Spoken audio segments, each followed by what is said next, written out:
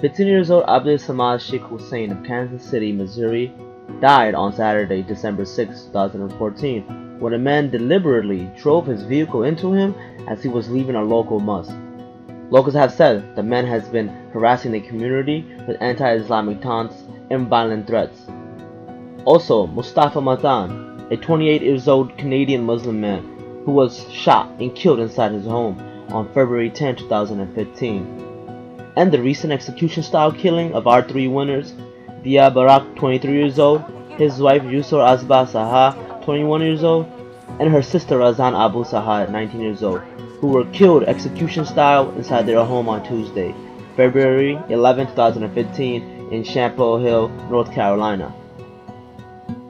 In the light of increasing anti-Muslim hate crime in the US and abroad, organizers from Students for Justice in Palestine at John Jay held a vigil for victims of Islamophobia and hate-based violence.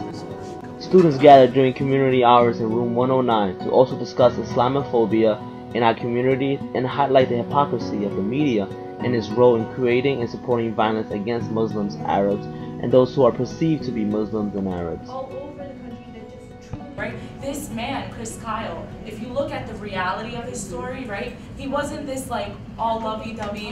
Of, of course, he suffered from PTSD. I'm not going to undermine that, but he also looked at Arabs and at Muslims and said it like it's like he said when i'm at war it's like i feel like i'm in a jungle and i'm hunting for animals. He called arabs and muslims animals. He called people. He saw them as animals right that he was hunting them down. You do find it inside to forgive them because what we need to be doing is teach people to self-educate themselves and do their own research aside from what they were raised on. That's what we need to be doing. Thank you. So went crazy. And i also specifically remember after maybe like a year or two after 9-11 there uh, was a girl that came in late. She was like a transfer student and she was an arab and she, her last name was hassan. And every single time that the teacher would pass roll call she would re- like get up real fast go up to the front and tell the teacher not to call her name out.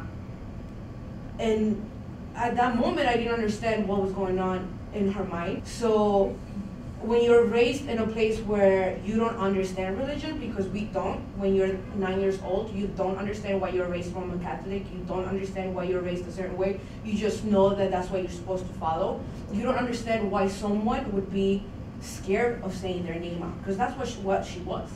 I don't think she was particularly ashamed, but she was afraid of what people were gonna think or what people were gonna do to her at the moment that, that her last name was, was what it was.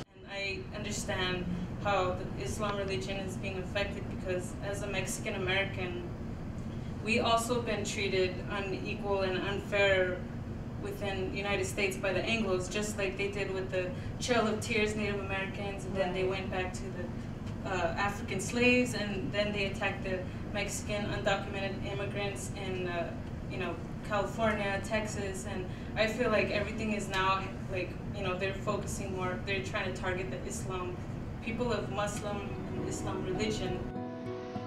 With all the murders caused by Islamophobia throughout history, saying Muslim lives matter is only a saying that has no legitimacy.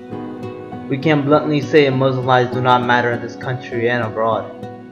This is the result of leadership not addressing the core problem of hetero-white settler colonialist ideology and constantly perpetrating parasitic ideologies into institutions affecting oppressed nationalities everywhere. These ideologies do not serve the people and need to be seized immediately. Is taught and really embedded in our not only our society but in our education system. So I want you all to really take these stories and to spread them around. You know, I want you to say like I had a friend who went through this, or I had another friend who had another friend attention to one another. Sorry.